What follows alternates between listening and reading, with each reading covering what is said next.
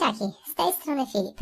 Dziś ze mną gość specjalny, którego za chwileczkę poznacie. Ma na imię Marta. Marto, zaprosiłem Cię po to, abyś opowiedziała dzieciom, jak wyglądało Twoje spotkanie z nowonarodzonym dzieciątkiem, kiedy razem z pasterzami udaliście się do niego, aby go przywitać, kiedy narodził się w Betlejem. Ale najpierw posłuchajmy wspólnie Ewangelii na najbliższą niedzielę. Pasterze poszli szybko do Betlejem i znaleźli Maryję, Józefa i niemowlę leżące w żłobie. A gdy je zobaczyli, opowiadali, co im zostało objawione o tym chłopcu. Wszyscy, którzy to usłyszeli, dziwili się temu, co pasterze im mówili. A Maryja zachowywała wszystkie te słowa i rozważała je w swoim sercu. Pasterze zaś wrócili, chwaląc i wysławiając Boga za wszystko, co usłyszeli i zobaczyli, zgodnie z tym, co im zostało oznajmione. Gdy minęło osiem dni, obrzezano chłopca i nadano mu imię Jezus, którym nazwał go anioł jeszcze przed jego poczęciem.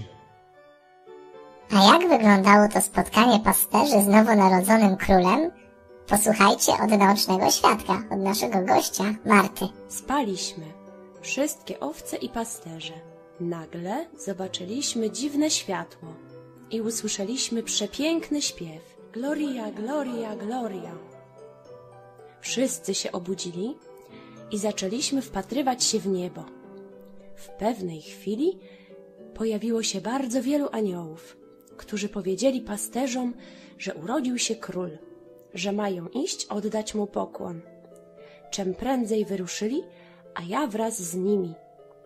Przed nami ukazała się grota, a w niej piękna kobieta i jej mąż, a w miejscu, gdzie pasterze przygotowywali nam posiłki, w żłóbku leżał on, mały chłopczyk, Pan Jezus.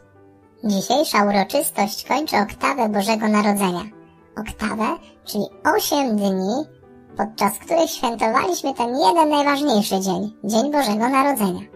Jak słyszeliśmy w dzisiejszej Ewangelii, także ósmego dnia Maryja z Józefem obrzezali Pana Jezusa i nadali Mu imię.